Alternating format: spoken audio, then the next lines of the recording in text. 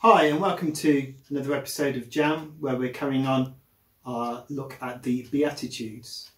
And it's with me, John Amos, not John Fisher. Now, a few weeks back, I talked about another Beatitude, which was hunger and thirst for righteousness. And the Beatitude that we're looking at today, which is found in Matthew chapter 5, verse 10, also mentions righteousness again. And the Beatitude this week is Blessed are those who are persecuted because of righteousness, for theirs is the kingdom of heaven. Now, righteousness, you may recall, is about doing right for God. And if you're persecuted, you're injured or attacked. Now, with this beatitude, what Jesus is saying is that God knows that his followers, his uh, or Christians, will be persecuted.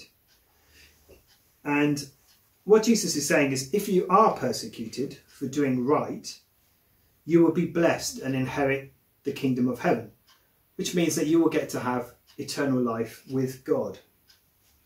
Now, sometimes if we're attacked, normally it would be sensible to assume that you're doing something wrong.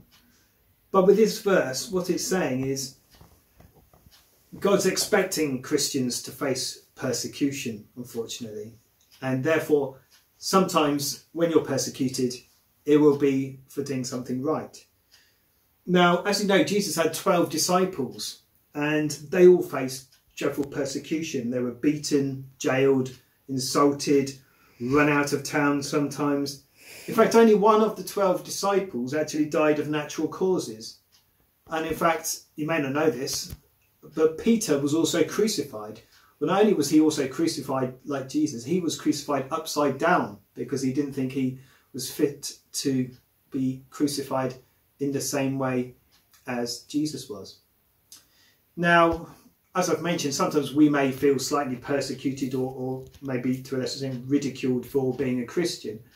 However, compared to what goes on in other countries in the world, what we can go through can sometimes be considered quite minor in countries like India, China, and North Korea, Christians are regularly uh, being attacked for being a Christian and sometimes even imprisoned.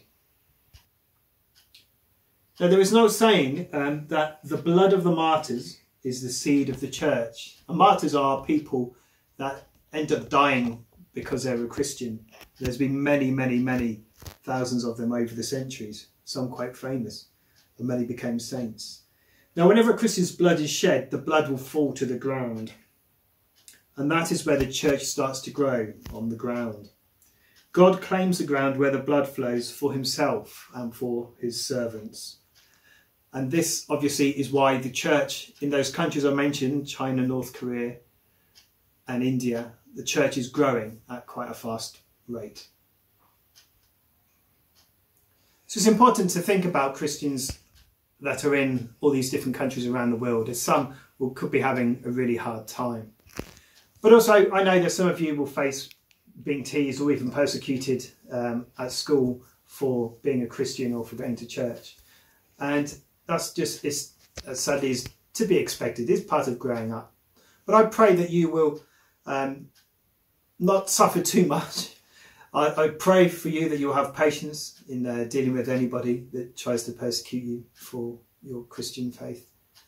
And also, I pray that you will remember the other Christians around the world that are facing really hard times. And I pray for you for the upcoming week. And I pray and hope that uh, you'll continue to think of other Christians throughout the world.